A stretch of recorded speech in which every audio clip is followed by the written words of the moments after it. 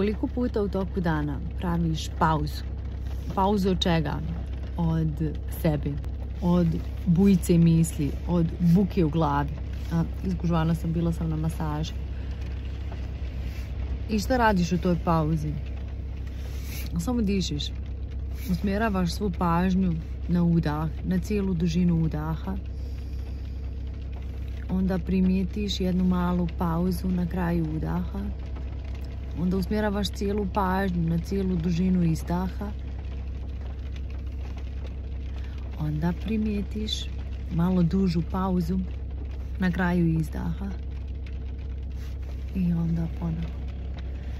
Taj jedan udah i izdah svjesni ti bude toliko lijep, udoban, ugodan, da prosto odlučiš da napraviš još jedan. Ja volim da pravim ove pauze kada ulazim u auto, kada zatvorim vrata, ubacim ključ prije nego što krenem, prije nego što okrenem taj ključ, volim da napravim ovu pauzu.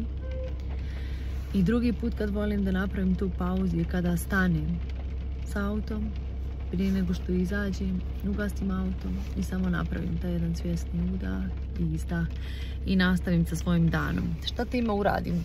Vratim se sebi, osjetim sebe iznutra, povežem se sa sobom, osjetim da li sam pod stresom, da li sam u glavi, da li ispunjavam tu do listu ili sam u skladu sa sobom, sa svojim unutarnjim vodstvom, sa svojim unutarnjim stanjem.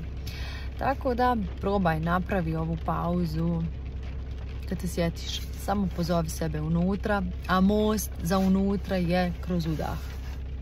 Vidimo se.